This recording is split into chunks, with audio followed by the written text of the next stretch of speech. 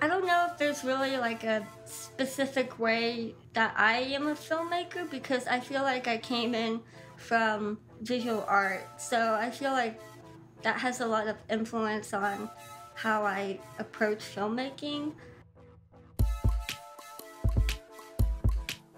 I never really was a person who watched a bunch of films or was really interested in films, so I feel like I'm always learning about it.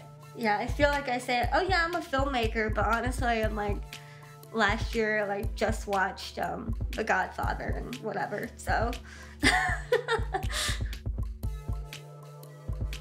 I actually started out as a visual artist in high school. So I went to the Alabama School of Fine Arts and then I graduated and then kind of actually on a whim, it seemed at the time, I I chose to study film at art school and then I quite enjoyed it and I actually was kind of good at it too.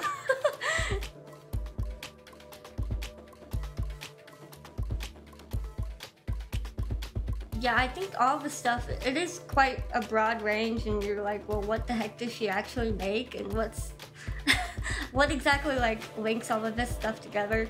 But I think it all comes from a place of honesty and relatability. That's something I always strive to put into my work, which I think I really learned at ASFA about honesty in the work and you know whether you're being honest to yourself as an artist and i think other people can definitely tell if you are or if you're not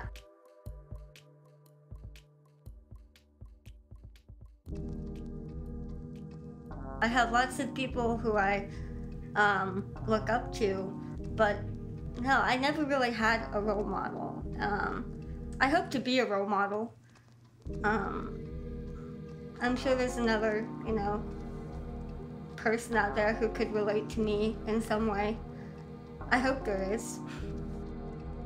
I think I've been using art and film as like a, a therapy for myself. Um, kind of work things out through film and art. I think that's really been happening my whole life, whether I've wanted it or not. Um, this medium is just just so happens to be the medium that I'm expressing myself in right now. I'm, I feel like I'm kind of self-realizing myself. It's taking a long ass time to do that. Um, kind of picking apart each identity as I go. Like, well, what does it be, mean to be an American in my school now, which is largely uh, British people and people from the EU. What is it like to be that one American voice there?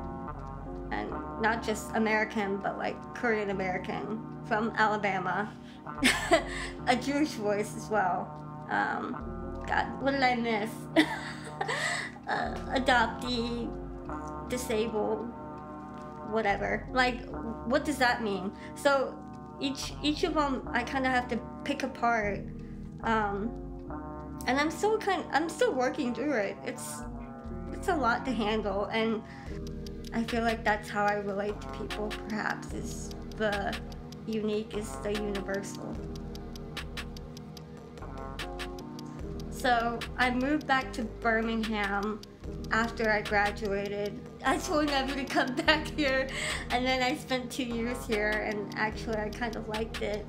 Um, but yeah, every time I come back to Birmingham, it's full of like nostalgia and happiness, and I have good friends here, and you know, I think it's taught me a lot. Even though Birmingham is full of all of its complicated history and present and I think future, um, I don't think there's really anything quite else like being from Birmingham.